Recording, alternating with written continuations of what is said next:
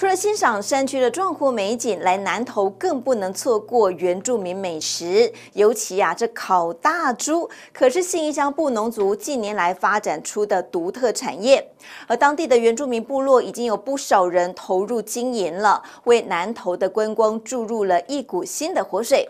而县府原民局呢，也独步全国，将要举办全国首件的烤大猪专业认证。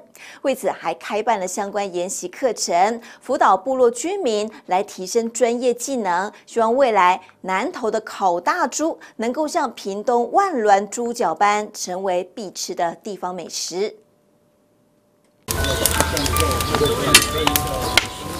烤大猪可不只是将猪挂在炭火上烤那么简单，从猪肉挑选开始，每个步骤都很专业。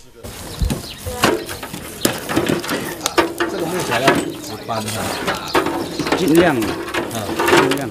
用作用是什么？它的火候比较稳啊，你一直烧一边，它一边都没有那个火候啊。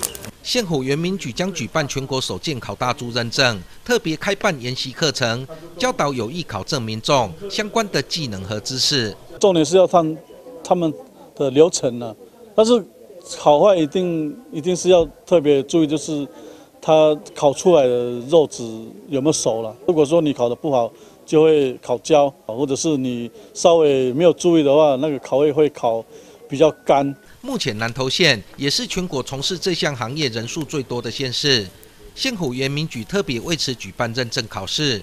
希望打响南投烤大猪的品牌知名度。除了就是专业的烤猪知识之外，我们还要最重要就是我们食品安全的部分。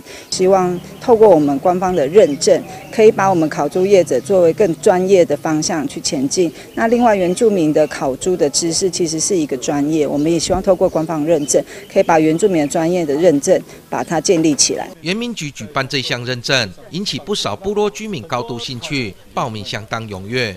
更希望借此展现原住民特有的文化产业与专业能力。来这边学习这个认证，是因为有助于未来我们把这样的一个文化才能，然后也可以做成我们这个呃创造经济来学习。本来就是我们传呃我们的文化嘛，哈啊也当然就涵盖了所谓的狩猎文化中的一个重要的一个含义。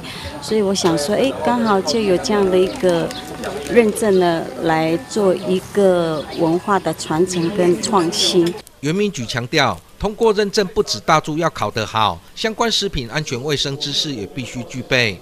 透过认证制度的建立，也希望烤大猪成为有南投必吃的特色美食。